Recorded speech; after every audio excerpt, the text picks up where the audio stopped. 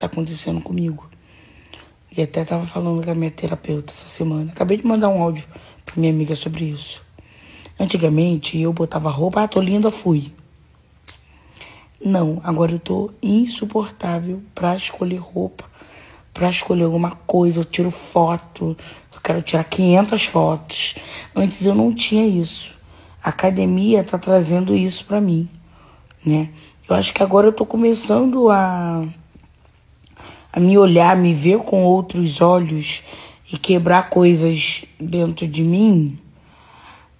Não sei se é essa a palavra certa, né?